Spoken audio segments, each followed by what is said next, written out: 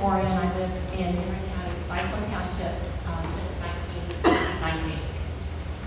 Um, And I, when we moved here, we bought um, 64 acres, and we have six children, and we thought that perhaps we would be able to deed off uh, portions of our property to, um, to the kids to possibly settle and live near us. And so the long-term potential of, of our land and of the county um, is important to us.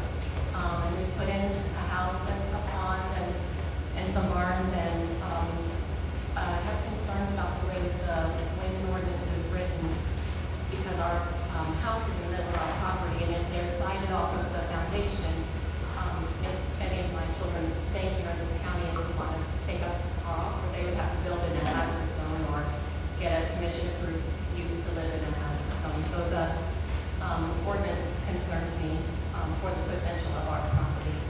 Um, And uh, I know Susie just, Susie just talked about the uh, population density, which I also feel like the counties that were visited had a lower population density than our county does. Um, And I was concerned that uh, the good neighbor agreements, um, which are when people that live near Turbine get some money for living near Turbine, um, they have to sign a good neighbor agreement, um, and they are not at that point allowed to object or complain. And I uh, just kind of rubs me the wrong way to think that um, if you have to, if you live by 11, you- they have to pay you kind of hush money not object to the turbine, as I saw it. Um, The World Health Organization um, uh, cites the turbines at 1.5 miles away and asks for 40 decibels. And I um, would love to think that Henry County would uh, give similar protections to their citizens.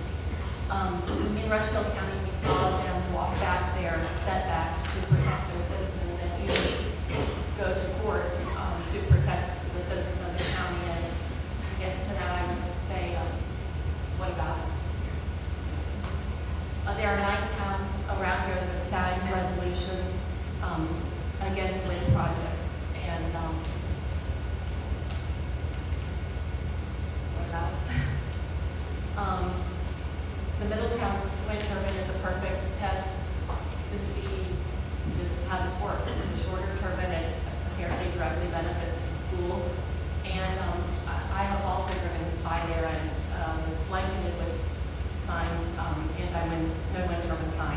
so we've kind of had a test model, and we've heard a personal example. Plus, if you drive around there, you will see that it has not um, been popular. Um,